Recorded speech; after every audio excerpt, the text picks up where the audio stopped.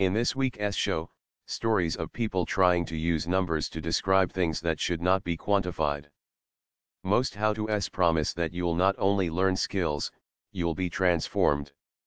And then, an appreciation of wackiness, and an analysis of wackiness in American culture. After years of covering stories about medicine, Rebecca Perl enters the hospital as a patient. This show was recorded in front of a live audience at the Yerba Buena Center for the Arts in San Francisco, with help from KQED-FM, during the 98 Public Radio Conference in San Francisco. A woman who'd been diagnosed with cystic fibrosis talks about the lies she told herself as a child. And Dan Gediman tells the story of how he was cast in the public TV show Zoom, which aired from 1972 to 1979, at the age of 10.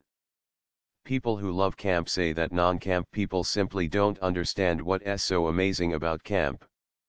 In this program, we attempt to bridge the gap of misunderstanding between camp people and non-camp people. And other stories about people who map the world using smell, sound, touch, and taste. They take a tape recorder with them to make a kind of audio journal of their trip. What they find, who they meet, and what they learn in this experiment in 19th century travel. One last moment of asserting the fact of our existence, at the moment of our annihilation. On the first day, any first day, we're expected to live by the rules and customs of the culture we're entering, but we don't know those rules and customs just yet.